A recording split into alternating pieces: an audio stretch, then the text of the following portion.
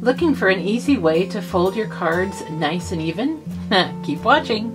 Hi, I'm Amy England from Scrap This Save That, and I'm going to show you how to get a great fold and crease every time. So here is my magic tool, my, my secret weapon, if you will. This is a bone folder, but this is a Teflon bone folder. Different than the regular plastic ones. This one's a lot thicker and a lot smoother. This Teflon bone folder is awesome because it makes it so that you don't get those shiny, horrible lines that you get with most bone folders. And it's just super, super smooth and just glides right along. So there you go. Then you have this nice, sharp, sharp crease. So that is trick number one. Trick number two, if you have one or have the money to invest in one, is a scoreboard. They have big ones, they have little ones. This is an old Martha Stewart scoreboard that I have. It's a 12 by 12, so you can fit a whole entire sheet of scrapbook paper on it, and the measurements go just a little bit beyond 12 inches.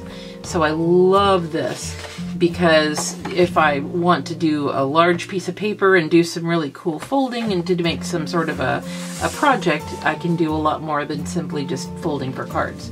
But basically same thing, so I have my, my piece of paper that I've cut in half uh, it's cut to eight and a half inches by five and a half inches. Yes, five and a half inches.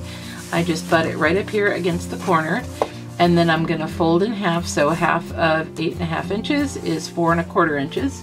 I find the four and a quarter mark. Uh oh I score straight down.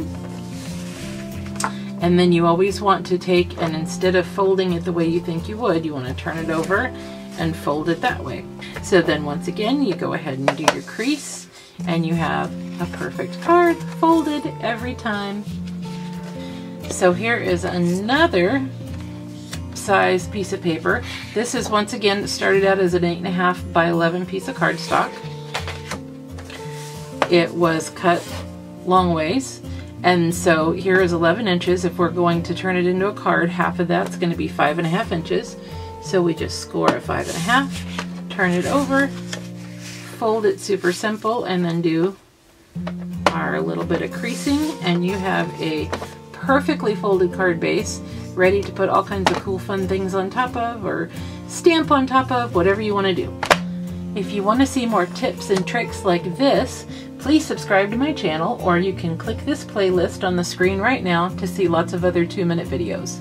Thanks, bye.